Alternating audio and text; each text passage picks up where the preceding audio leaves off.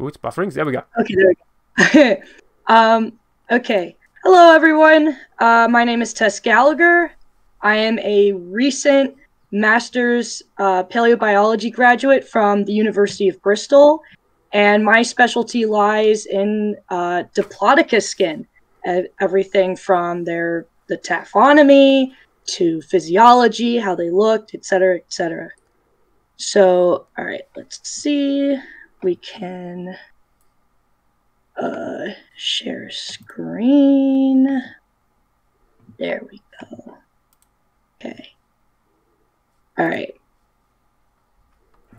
Okay, so today I'm going to be telling you guys how to properly skin your Diplodocids, as well as some uh, general myths and paleo memes about sauropod integument. So, firstly, usually whenever we think about sauropods, uh, you might think of Diplodocids as being really wrinkly, like an elephant, or maybe you think of Diplodocids like the classic Walking with Dinosaurs Diplodocus, which has these like iconic row of spines going down the back. Uh, unfortunately, so both this elephant-looking uh, depiction of Diplodocids and sadly the Walking with Dinosaur Diplodocus are inaccurate. I know it's very sad. I love Walking with Dinosaurs Diplodocus, but it is not uh, accurate anymore. So, what do we know? So, what I'm mainly talking about here today is skin that comes from a site called the Mother's Day Quarry. And this quarry has a bunch of juvenile Diplodocus that all died together, then got swept up by something called a debris flow, uh, and then uh, are now fossilized where they are today. And this site is really amazing because we get a lot of Diplodocus skin there. So, what's really interesting is you can probably see from this skin map that I made, uh, this is only one individual that we're looking at here. This isn't a composite of all the skin that we have. This is just one individual. And you can see how much variety there is in these scales. So I'm going to go over all these different types of scales, where they are, what they could mean, and how you might interpret them. So first off, we have polygonal scales, which are the most common scales in dinosaurs, period. You see these in sauropods, you see these in uh, theropods, ornithischians. You even see these in modern day birds on their feet, technically. Uh, but what's really interesting about the polygonal scales in sauropods is that they have these little bumps on them, right? So you can see the it looks like these got these little uh, scales inside the big scales. So these aren't actually little scales; these are called papillae. So they're epidermal papillae, and these little bumps were probably present in life. Now, they were probably used for something related to thermoregulation. Maybe they could have held onto water, similar to how elephant wrinkles work. Um, but these bumps are found on all sauropod scales. Um, or, sorry, not all scales, but uh, on all sauropods, I should say. So I have like four images here, and these are all from both uh, Diplodocus and Macronarians. There's Camarasaurus, uh, Tehuelchesaurus, Diplodocus, and Apatosaurus shown here. Uh, so if this is something you want to try in detail in your sauropod drawings, you can certainly do that. I personally have never tried to illustrate these because I already have to draw individual scales. I, I don't know how I feel about drawing individual details in individual scales, but they are cool nonetheless.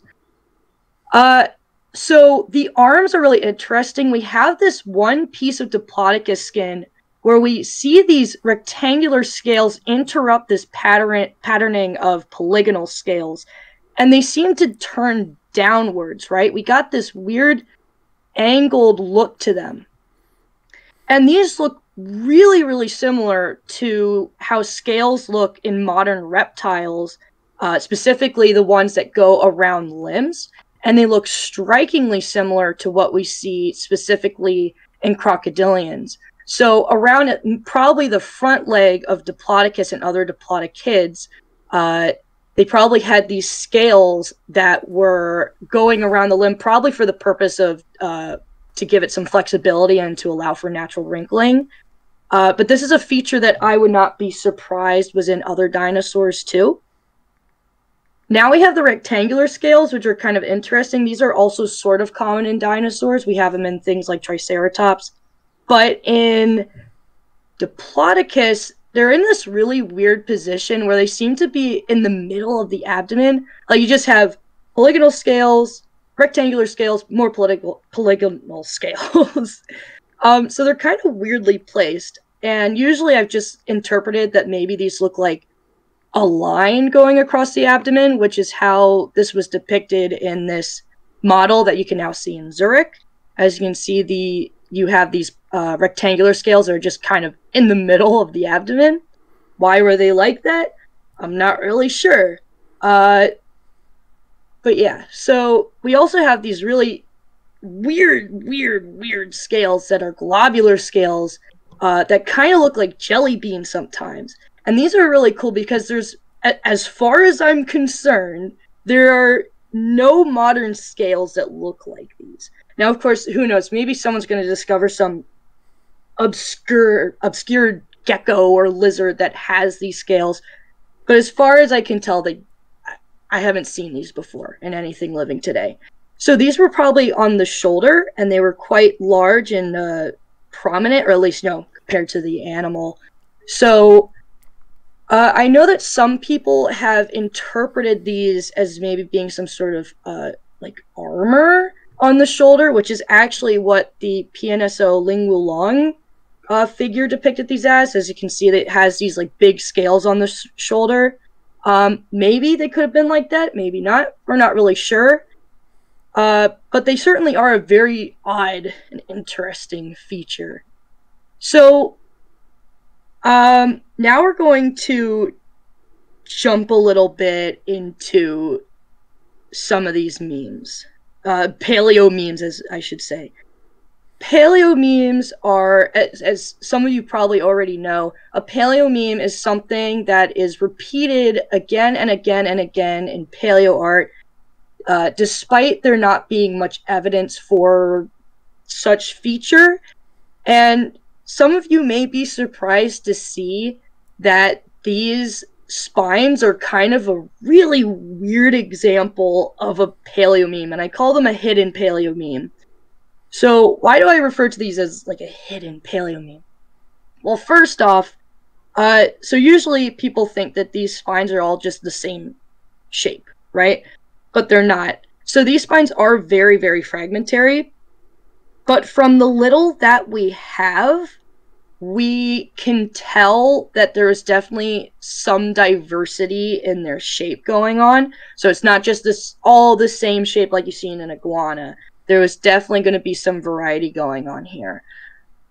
But also, biggest reason why I call these a hidden paleo meme is because it seems like people have just they just assume that we absolutely know that Diplodocus had these the truth is, there has been no direct evidence that Diplodocus ever had these spines.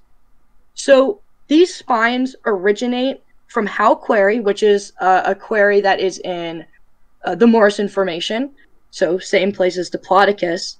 But the sauropods that were present there are Kaatedocus and Barosaurus, which are both close relatives of Diplodocus. Um, but obviously they're not Diplodocus. So, is there a chance that Diplodocus could have had structures like this? Well, we do have these really weird looking uh, ovoid scales, which are personally a pain to take pictures of because whenever you see these things in person, they're like so prominent. It's like, holy crap, those are dinosaur scales. And then you try to take a picture of them and then they disappear. It's so frustrating. But, you know, here I have an illustration to hopefully show you guys what these things look like. And they are these raised ovoid shaped scales that are really closely clustered together and seem to be on the dorsal side. Now, there is something weird going on with these that to me suggests they may have been slowly growing in as these uh, juveniles were growing.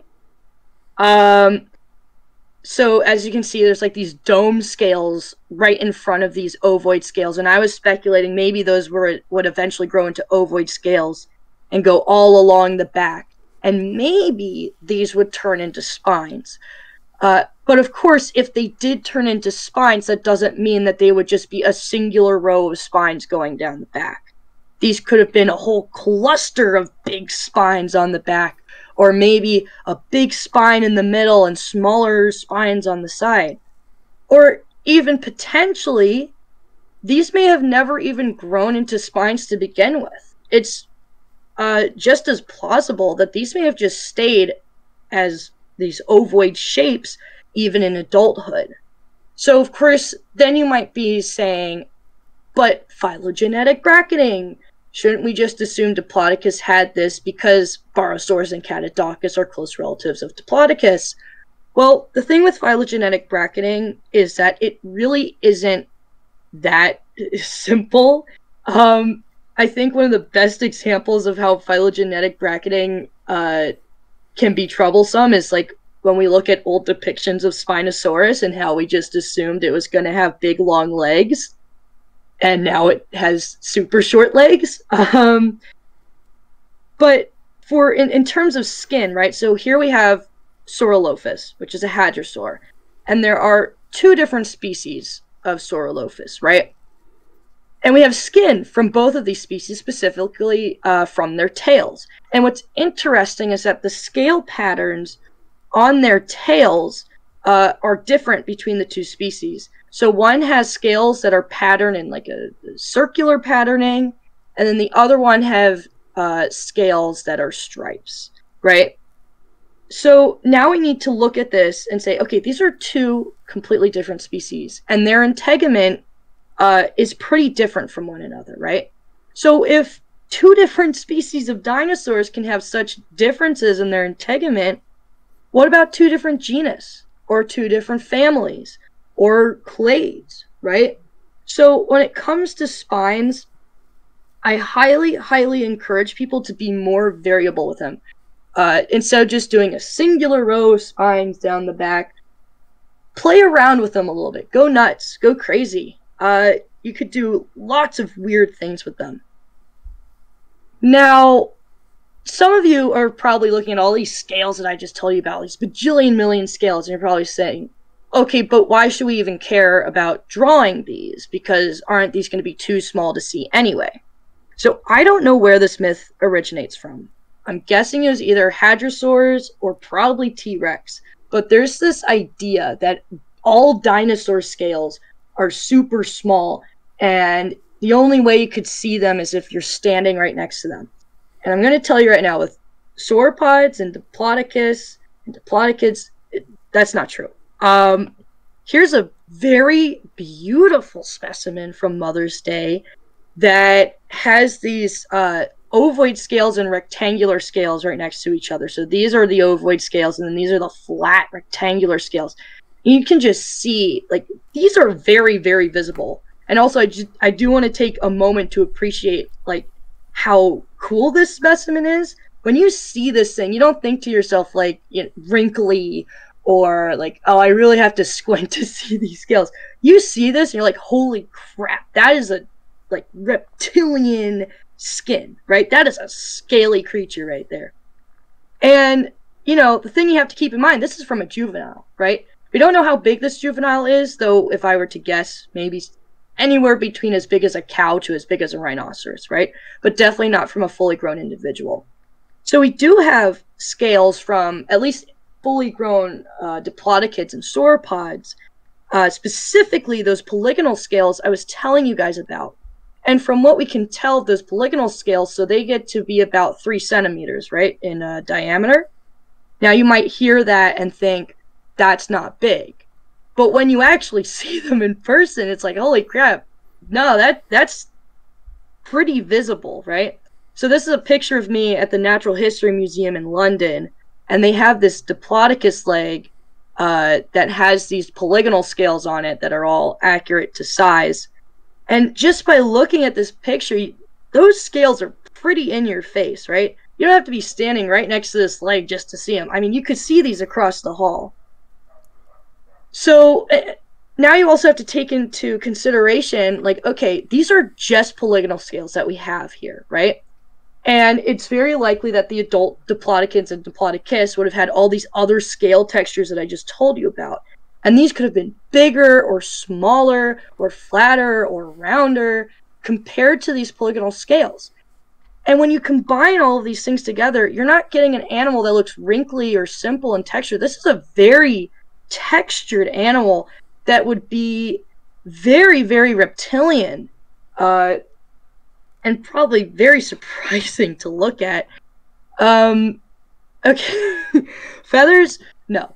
Um, but let me explain. So we have not found any. I'm sorry, but we have not found any direct evidence that sauropods had feathers. Um, now about feathers. So it's not necessarily the case that they couldn't have evolved feathers. Feathers are in all other groups of dinosaurs, right? We have them in ornithischians, we got them in theropods, and depending on who you ask, we have them in pterosaurs too, right? Which aren't dinosaurs. Um, so it wouldn't be that surprising if sauropods could have feathers. Maybe their earliest ancestor did, but you have to ask yourself, would they need them, right? What could feathers do for sauropods that their scales can't already do already? So one of the main things why sauropods might have feathers, of course, that's not to say that maybe they could have had like a eyelashes or maybe like a little like doohickey like a display feather on their head or something, but they're they're definitely not going to be covered in them. So some people might think back to like elephant hair, right? This is something that you, is pretty common for people to depict any big dinosaur with in paleo art. Uh, so you might ask, but what about these? So in elephants, these hairs are used for thermoregulation. They help to increase surface area and natural convection so that these guys can shed more heat, right? Um, but the question is, right? Diplodocus has so many variable scale shapes going on, and you have to ask yourself, why would Diplodocus have something like this when instead it could be doing something with its scales that would probably be far more efficient than these hairs, right? So that's kind of why I don't think they had feathers. Of course, like I said earlier, maybe they had some weird display feather or eyelashes, or maybe there's a secret tiny Arctic sauropod that needed feathers. Who knows? Who knows? But so far, there's there's really no evidence for it. So I'm gonna very briefly talk about colors. Sorry, Some of uh, you may know that yeah, I keep keep it short yeah, because yeah. we are we don't have that much time. time. oh, oh, ah, okay. Well, then super quick about colors. Anyway, colors are really really complicated, and I'm just here to say you don't have to make your sauropods gray basically, all I'm going to say here uh, when you're trying to figure out color, it's not all about the melanin. Usually, melanin is all we find in the fossils, and that is not the only thing that contributes to color. You have cells called chromatophores that can come in a variety of different kinds, and they will uh, they they are responsible for creating all sorts of colors, such as what you see in chameleons, right? These things don't preserve. So without these, we can't really tell the exact color of dinosaurs. And this is just something in general to keep in mind with any scaly dinosaurs, specifically scaly dinosaurs. Feathers are a little different, but scaly dinosaurs, it's a more complicated story. And long story short, you don't have to make your sauropods gray. Um, but yeah, thank you for listening. oh, that was. Oh, I I thought you still had a few. Yeah. Oh, pretty good on time.